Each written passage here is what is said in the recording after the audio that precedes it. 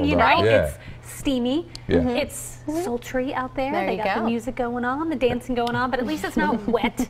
We're not talking about, and you like my little, Yeah, it little like, shuffle hey. there. Go Yeah, there. uh, we don't have any rain in the forecast, so you won't be dancing or singing in the rain tonight, which is good news. Yeah. At least until overnight. That's when showers are going to return to the forecast. So let's take a look outside right now. We'll take you out to the shore. Cape May County looking gloomy again. Not a great week to be down the shore. If this was your week down the shore starting Memorial Day, well, we had a nice beach day on Saturday for much of the shore points, and then it's all been downhill from there. Looks like Friday may redeem itself just a little bit, but you can see the clouds are in place and temperatures on the chilly side once again down the shore today. The flag flying as well. It's brisk and chilly the day you want that Cape May Beach Patrol sweatshirt, that hoodie to walk on the beach if you're down the shore. Let's check in with our weather watchers and they're reporting temperatures again only in the 60s and 70s right now. It's steamy, so it feels a little bit warmer than that, but it is certainly still on the cool side. You can see 77 degrees as we check in here with our weather watcher just off to the east, Kenneth Martin. He's in Willingboro, 77 with some clouds there.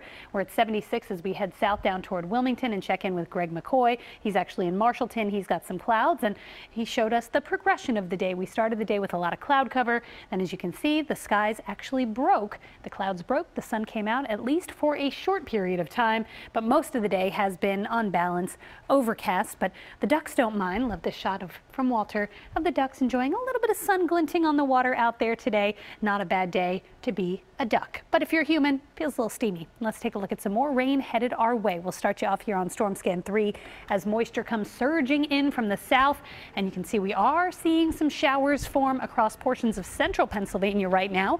We'll be watching those drift into our region overnight. So you can see how the clouds are increasing noticeably as we go through the overnight hours. And we are going to start to see some better chances at wet weather, especially by about 2 or 3 a.m. And then We'll start tomorrow with clouds and showers once again. And tomorrow looks like an unsettled day. Some of this moisture is associated with what was once Tropical Storm Alberto. You can see that pretty defined swirl of clouds there over Indiana that's lifting into Michigan. But part and parcel of that low is going to start drifting east as we head into the weekend. A new low developing south of Philadelphia that's going to pull in some rain and eventually an east wind as we get into the weekend, which is going to keep things on the chilly side. So we'll take you through it hour by hour here as we go through the overnight hours. You know, those showers and clouds we just talked about off to the south, they're going to be lifting in to the north and east overnight. Now the showers are going to fizzle a bit, but you can see as we get into Friday, another round of showers and storms. And then by Saturday afternoon, it forms again. So just about every day, we've got the chance for a few scattered showers or thunderstorms in the forecast.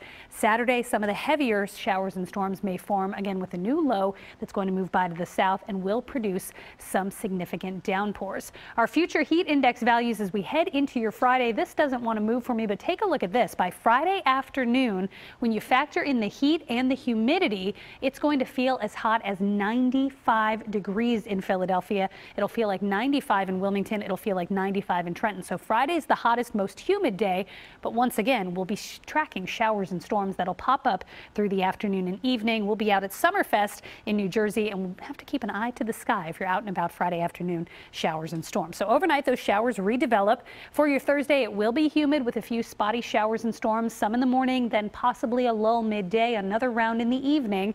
And your eyewitness weather seven day forecast.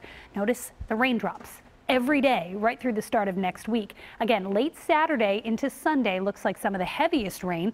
Sunday's much cooler and breezy with an east wind, the high barely hitting 70, and Monday highs only in the 60s with the chance for showers. Not the best start to June, but then it gets a little better next week. We'll try to dry it out next Tuesday and Wednesday. Ukee, Nicole, back over to you.